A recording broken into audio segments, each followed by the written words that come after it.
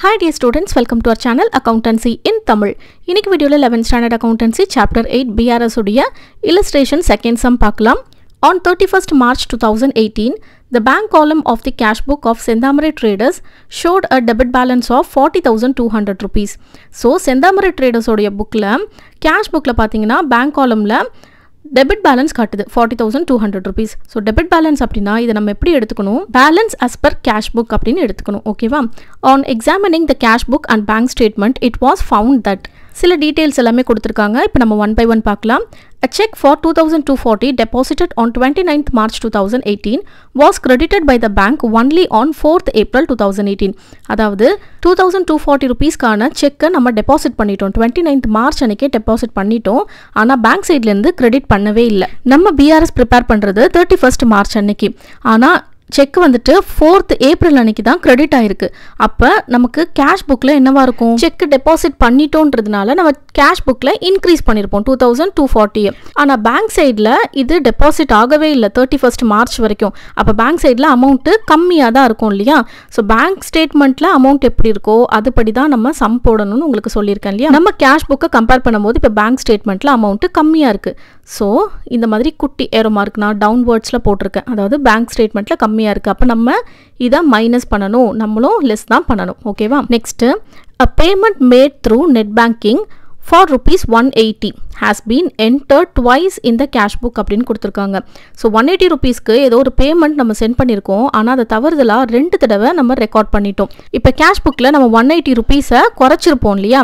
அப்போ பேங்க் பேலன்ஸில் அதாவது பேங்க் ஸ்டேட்மெண்ட்டில் அது ஹையராக தான் இருக்கும் ஒன் எயிட்டி ருபீஸ் ஸோ அதிகமாக இருக்குன்றதுனால நம்ம இதை ஆட் பண்ணணும். பேங்க் ஸ்டேட்மெண்ட்டில் அதிகமாக இருந்தால் ஆட் பண்ணுங்கள் கம்மியாக இருந்தால் மைனஸ் பண்ணுங்கள் cheque amounting to five hundred rupees which were issue to trade payables so trade பேயபிள்ஸ்க்காக cheque issue பண்ணியிருக்கோம் five hundred rupees and entered in to the cash book before thirty first March two thousand eighteen were not presented for payment until that date so before thirty first March அப்போவே நம்ம five hundred rupees cheque issue பண்ணிட்டோம் trade பேபிள்ஸ்க்கு so cheque நம்ம issue பண்ணுறோம் அப்படின்னா நம்ம கிட்டேருந்து payment வெளியே போயிருக்குன்னு தானே அர்த்தம். ஸோ கேஷ் புக்கில் நம்ம கம்மி பண்ணியிருப்போம் மைனஸ் பண்ணியிருப்போம் ஆனால் செக் பேமெண்ட்டுக்கு ப்ரெசென்ட் பண்ணவே இல்லை அன்டில் அந்த தேர்ட்டி ஃபஸ்ட் மார்ச் வரைக்குமே.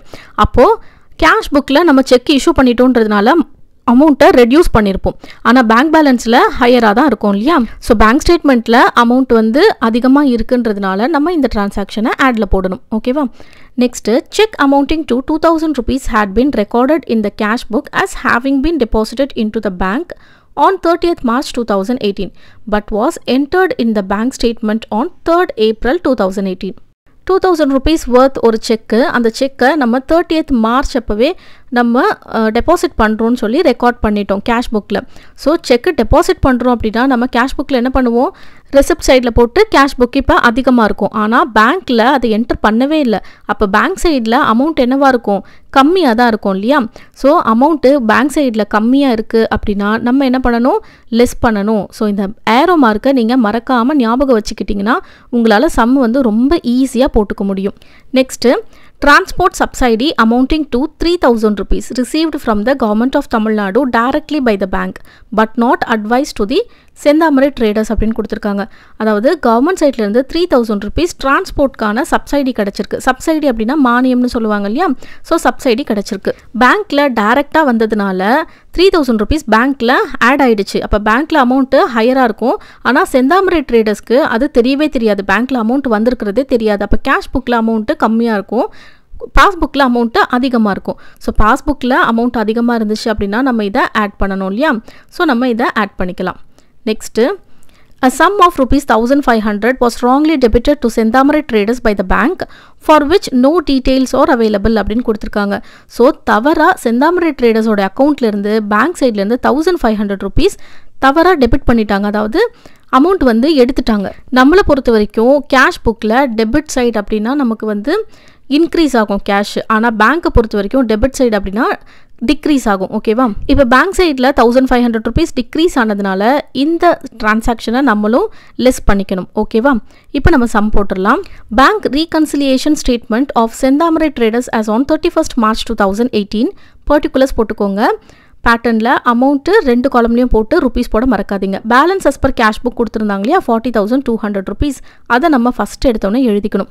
இப்போ எந்தெந்த டிரான்சாக்ஷன்ஸ்லாம் ஆட் பண்ணணும்னு நம்ம மார்க் பண்ணி வச்சிருந்தோம் இல்லையா? இப்போ அதெல்லாம் ஆடில் போட்டுக்கலாம். இந்த ஒன் எயிட்டி ருபீஸ் ரெண்டு தடவை நம்ம என்டர் பண்ணியிருந்தோம் இல்லையா? அதை எழுதிக்கலாம். நெட் பேமெண்ட் என்டர்ட் ட்வைஸ் இந்த cash book one eighty rupees next trade பேபிள்ஸ்க்காக five hundred rupees cheque கொடுத்துருந்தோம் இல்லையா? அது வந்துட்டு ப்ரெசென்ட் ஆகவே இல்லை. So cheque issue to trade payables not yet ப்ரெசென்டட்னு போட்டுக்கோங்க ஃபைவ் ஹண்ட்ரட் ருபீஸ் நெக்ஸ்ட்டு டிரான்ஸ்போர்ட்டுடைய சப்சைடி வந்தது இல்லையா? அது. இப்போ இன்னொரு காலமில் இருக்கிற அமௌண்ட் எல்லாத்தையும் ஆட் பண்ணால் three thousand six eighty rupees வந்துருச்சு. இந்த மேலே இருக்கிற அமௌண்ட் கூட இதை ஆட் பண்ணுங்கள் ஆட் பண்ணிங்கன்னா forty three thousand eight hundred and eighty rupees வரும். இது அப்படியே இருக்கட்டும். நெக்ஸ்ட்டு எதெல்லாம் லெஸ் பண்ணுறதுன்னு எழுதிக்கலாம். ஃபர்ஸ்ட்டு டூ தௌசண்ட் டூ ஃபார்ட்டிக்கான செக் வந்து நம்ம டெபாசிட் பண்ணியிருந்தோம். ஆனால் பேங்க் சைட்லேருந்து அதை கிரெடிட் பண்ணவே இல்லை இல்லையா? அதை வந்து இப்போ நம்ம எழுதிக்கலாம். Cheque deposited but not yet credited by bank அப்படின்னு எழுதிக்கோங்க. Two thousand two forty rupees next two thousand ருபீஸ்க்கான cheque வந்து நம்ம டெபாசிட் பண்ணியிருந்தோம். அதுவுமே பேங்க் சைட்லேருந்து கிரெடிட் பண்ணவே இல்லை. ஸோ அதே சேம் டிரான்சாக்ஷன் எழுதிக்கோங்க. Cheque deposited but not yet credited by bank two thousand rupees போட்டுக்கோங்க. அடுத்தது தௌசண்ட் ஃபைவ் ஹண்ட்ரட் ராங்காக டெபிட் பண்ணியிருந்தாங்க இல்லையா? அது எழுதிக்கலாம். Wrongly debited by bank thousand five hundred இப்போ இன்னொரு காலமில் இருக்கிற இந்த மூணு ஃபிகர்ஸையும் ஆட் பண்ணிங்களா ஃபைவ் தௌசண்ட் செவன் ஃபார்ட்டி வரும். இந்த ஃபார்ட்டி த்ரீ தௌசண்ட் எயிட் எயிட்டிலேருந்து ஃபைவ் தௌசண்ட் செவன் ஃபார்ட்டி போச்சுன்னா balance thirty eight thousand one forty rupees வரும். இதுதான் balance as per bank statement balance as per cash புக்னு கொஷினில் கொடுத்துருந்தாங்கன்னா நம்ம balance as per bank statement தான் கண்டுபிடிக்கணும். பேங்க் ஸ்டேட்மெண்ட்டில் அமௌண்ட் எப்படி இருக்குது அப்படின்றத வச்சு தானே நம்ம சம்மே போட்டிருக்கோம். இந்த வீடியோ உங்கள் எல்லாருக்குமே யூஸ்ஃபுல்லாக இருக்கும்னு நம்புகிறேன் இந்த சம்மில் உங்களுக்கு வேறு ஏதாவது டவுட்ஸ் இருந்ததுன்னா கண்டிப்பாக கமெண்ட் செக்ஷனில் கேளுங்க. தேங்க்ஸ் ஃபார் வாட்சிங்